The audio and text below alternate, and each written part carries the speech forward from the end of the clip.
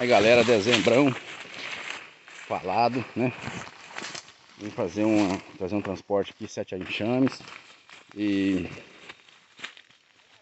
aproveitar para colher um pouquinho de mel, né? A catação. Mas essa catação é que separa as boas das ruins, né? A primeira lá, duas milgueiras. Essa segunda aqui tem muito mel verde, mas não deu nada. Lá não tem enxame, tá? Essa não tem.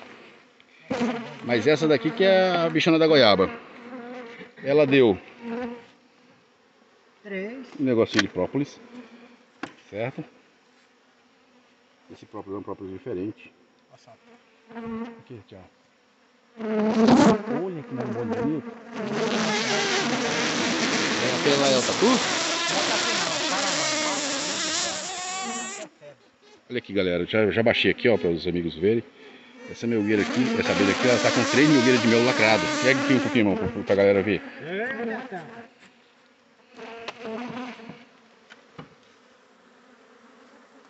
Lacrada, lacrada. Quatro melgueirinhas lacradas, galera.